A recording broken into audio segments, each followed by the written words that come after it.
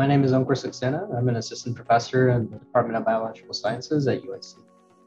Neuroblastoma is this really fascinating cancer in a lot of different ways.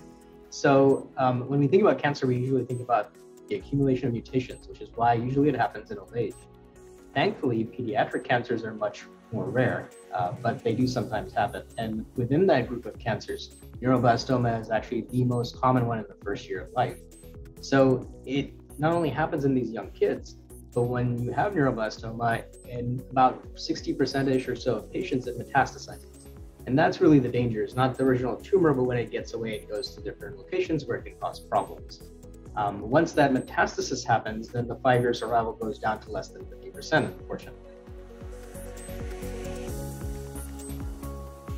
Neuroblastoma is thought to derive predominantly from what are called sympathoadrenal cells.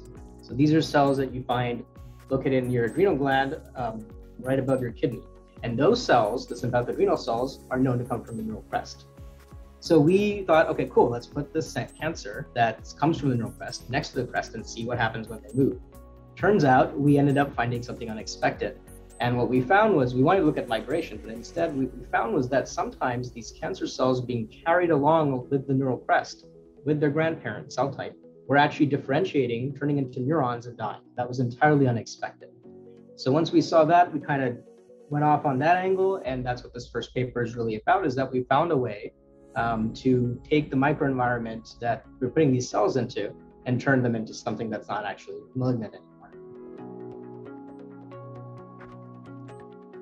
So the next step for this research really uh, revolves around finding new therapeutic targets for neuroblastoma what we've done so far is to now establish this model system that lets us say, okay, we can see these cancer cells becoming something else, and that's great.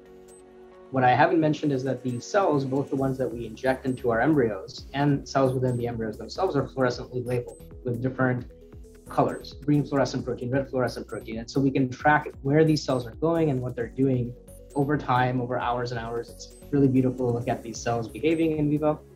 Uh, and so now what we can do is say, all right, we have a phenomenon, cells are differentiating into neurons. Let's pull these cells out once they're differentiating. Before, when they're still cancer, when they're starting to become neurons, and when they really have become neurons. And then we can do what's called single cell RNA seq or proteomics to look at either the RNA or the protein, respectively, and the whole cell on a cell by cell basis and see how those things are changing over time. So when we do that, the hope is that it's going to yield new findings about the different uh, genes that are up, up and down regulated and give us more insight into what's actually causing this differentiation to happen. Some of those uh, signaling factors that are going to be involved in that process are going to be, we hope, therapeutic targets that can then be pursued by other groups or companies to develop uh, in detail.